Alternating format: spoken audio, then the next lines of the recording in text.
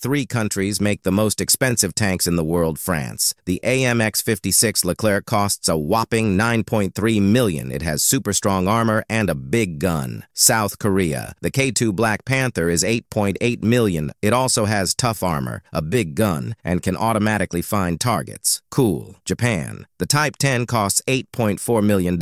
This tank has special armor that's easy to fix and can see all around it in battle.